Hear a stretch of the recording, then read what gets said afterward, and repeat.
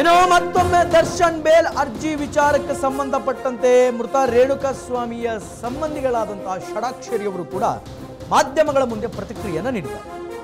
ತಂದೆ ರೇಣುಕಾ ಸ್ವಾಮಿಯವರ ತಂದೆ ಕಾಶಿನಾಥ್ ರವರು ಮಾಧ್ಯಮಗಳಿಗೆ ಪ್ರತಿಕ್ರಿಯೆ ನೀಡಿದ ನಂತರ ಇದೇ ರೇಣುಕಾ ಸ್ವಾಮಿಯ ಸಂಬಂಧಿಕರಾದಂತಹ ಷಡಾಕ್ಷರಿಯವರು ಕೂಡ ಮಾಧ್ಯಮಗಳ ಮುಂದೆ ಪ್ರತಿಕ್ರಿಯೆಯನ್ನು ನೀಡಿದ್ದಾರೆ. ಕೋರ್ಟ್ ತೀರ್ಪಿನಿಂದ ನ್ಯಾಯಾಂಗದ ವ್ಯವಸ್ಥೆ ಮೇಲೆ ಭರವಸೆ ಹೆಚ್ಚಾಗಿದೆ ಅನ್ನುವಂತಹ ಮಾತನ್ನ ಷಡಾಕ್ಷರಿ ಅವರು ಹೇಳ್ತಾ ಇದ್ದಾರೆ. ದರ್ಶನ್ ರವರಿಗೆ ಜಾಮೀನು ಕೊಡಬೇಕಂತ ಏನು ಅರ್ಜಿ ಸಲ್ಲಿಸಿತ್ತಲ್ಲ?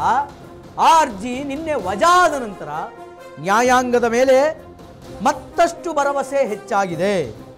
ಸಾಮಾನ್ಯ ಜನರಿಗೂ ಕೂಡ ನ್ಯಾಯ ಸಿಗುತ್ತೆ ಅನ್ನುವಂತಹ ಭರವಸೆ ಈ ಕೇಸಿನ ಮುಖಾಂತರ ಗೊತ್ತಾಗ್ತಾ ಇದೆ. ಯಾಕೆಂತಂದ್ರೆ ದರ್ಶನ್ ಅಂತಹ ದರ್ಶನ್ ಒಬ್ಬ ಸೂಪರ್ ಸ್ಟಾರ್, ದುಡ್ಡಿರುವಂತಹ ಮನುಷ್ಯ, ಹೈಲಿ ಇನ್ಫ್ಲೂಯೆನ್ಸ್ಡ್ ಮನುಷ್ಯ.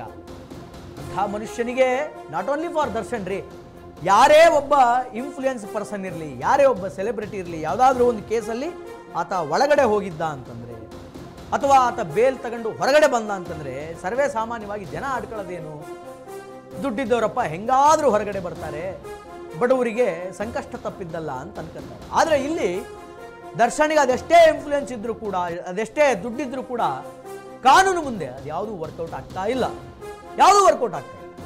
ಒಂದಲ್ಲ, ಎರಡಲ್ಲ ಬೇಕಾದಷ್ಟು ಕೋರ್ಟ್ ಪ್ರೊಸೀಡಿಂಗ್ಸ್ಗಳಾಯಿತು. ಸಿ ವಿ ನಾಗೇಶ್ ಅಂತ ಸಿ ವಿ ನಾಗೇಶ್ರು ಸೀನಿಯರ್ ಅಡ್ವೊಕೇಟ್ ಕ್ರಿಮಿನಲ್ ಲಾಯರ್ ಅವರು ಬಂದು ವಾದ ಮಾಡಿದ್ರು ಕೂಡ ದರ್ಶನ್ಗೆ ಜಾಮೀನು ಸಿಗಲಿಲ್ಲ. ದರ್ಶನ್ ವಿರುದ್ಧವಾಗಿ S P P Prasanna Kumar ಅವರು ಪ್ರಬಲವಾದಂತಹ ವಾದವನ್ನು ಮಾಡಿದರು ಮೇಲೆ ಕೊಡಬಾರದು. ಅದಕ್ಕೆ ನಿನ್ನೆ ಜಾಮೀನು ಅರ್ಜಿ ಅಂತಕ್ಕಂಥದ್ದು ವಜಾಯಿತು ಅಂದರೆ ರಿಜೆಕ್ಟ್ ಆಯಿತು. ಅದಕ್ಕೆ ನನಗೆ ನ್ಯಾಯಾಲಯದ ಮೇಲೆ ಭರವಸೆ ಜಾಸ್ತಿ ಆಗಿದೆ. ನ್ಯಾಯಾಲಯ ನ್ಯಾಯವನ್ನು ಎತ್ತಿ ಹಿಡಿದಿದೆ. ತಪ್ಪಿಸ್ತ ತಪ್ಪು ತಪ್ಪು ಮಾಡಿದವರು. ಯಾರೇ ಆಗಿದ್ರೂ ಕೂಡ ಅವರಿಗೆ ಶಿಕ್ಷೆ ಆಗುತ್ತೆ ಅನ್ನುವಂತಹ ಭರವಸೆ ಇದೆ. ಯಾರೇ ಮಾಡಿರಲಿ ತಪ್ಪು. ಅದು ದರ್ಶನ ಆಗಿರಲಿ, ಮತ್ತೊಬ್ಬರಾಗಿರಲಿ ಪವಿತ್ರಗೌಡ ಆಗಿರಲಿ, ಮಗದೊಬ್ಬರಾಗಿರಲಿ, ಯಾರೇ ಮಾಡಿರಲಿ, ಅಂತಹ ತಪ್ಪಿತಸ್ಥರಿಗೆ ಶಿಕ್ಷೆ ಆಗೇ ಆಗುತ್ತೆ ಅಂತ ಹೇಳಿ ರೇಣುಕಸ್ವಾಮಿಯವರ ಸಂಬಂಧಿಗಳಾದಂತಹ ಷಡಾಕ್ಷರಿಯವರು ಮಾತನಾಡಿದರು.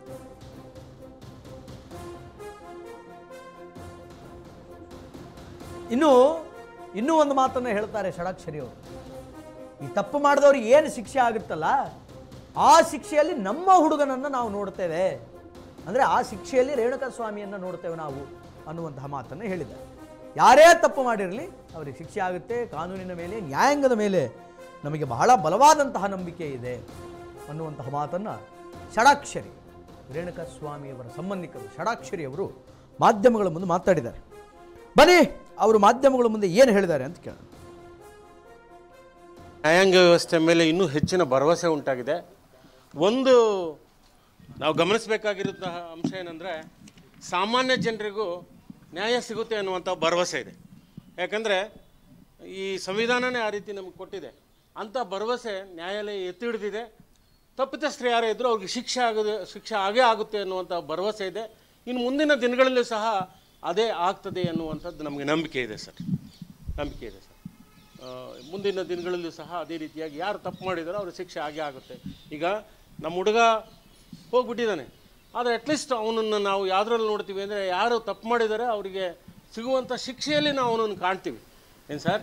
ಆದ್ದರಿಂದ ಯಾರು ತಪ್ಪು ಮಾಡಿದಾರೋ ಅವ್ರ ಶಿಕ್ಷೆ ಆಗಲೇಬೇಕು ಅನ್ನೋಂಥದ್ದು ನಮ್ಮದು ಒಕ್ಕರಗಳ ಆಗ್ರಹ. ನಾವು ಒಂದು ಮನವಿ ಏನಂದರೆ ಸರ್ಕಾರಕ್ಕೆ ಸ್ವಲ್ಪ ಫಾಸ್ಟ್ ಟ್ರ್ಯಾಕ್ ಕೋರ್ಟ್ ಮಾಡಿಬಿಟ್ಟು ಅದನ್ನು ಶೀಘ್ರವಾಗಿರ್ತಕ್ಕಂತಹ ವಿಚಾರಣೆ ಮಾಡಿ ಯಾರು ತಪ್ಪಿಸ, ತಪ್ಪಿತಸ್ಥರಿದ್ದಾರೆ ಅವರಿಗೆ ಶಿಕ್ಷೆ ಆಗಬೇಕು ಅನ್ನುವಂಥದ್ದು. ಒಂದು, ನ್ಯಾಯಾಂಗ ವ್ಯವಸ್ಥೆ ಮೇಲೆ ಇನ್ನೂ ಹೆಚ್ಚಿನ ಭರವಸೆ ಉಂಟಾಗಿದೆ. ಒಂದು, ನಾವು ಗಮನಿಸಬೇಕಾಗಿರುವಂತಹ ಅಂಶ ಏನಂದರೆ, ಸಾಮಾನ್ಯ ಜನರಿಗೂ ನ್ಯಾಯ ಸಿಗುತ್ತೆ ಅನ್ನುವಂಥ ಭರವಸೆ ಇದೆ. ಯಾಕಂದರೆ, ಈ ಸಂವಿಧಾನನೇ ಆ ರೀತಿ ನಮಗೆ ಕೊಟ್ಟಿದೆ. ಅಂಥ ಭರವಸೆ ನ್ಯಾಯಾಲಯ ಎತ್ತಿ ಹಿಡಿದಿದೆ. ತಪ್ಪಿತಸ್ಥರು ಯಾರೇ ಇದ್ದರೂ ಅವ್ರಿಗೆ ಶಿಕ್ಷೆ ಆಗದೆ, ಶಿಕ್ಷೆ ಆಗೇ ಆಗುತ್ತೆ ಅನ್ನುವಂಥ ಭರವಸೆ ಇದೆ.